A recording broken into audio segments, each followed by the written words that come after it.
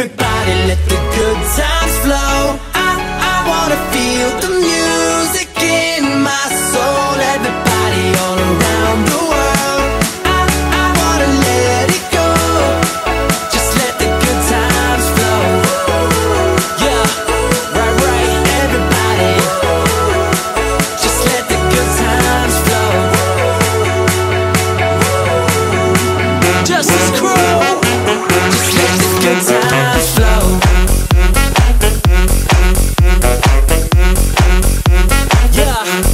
go. Uh.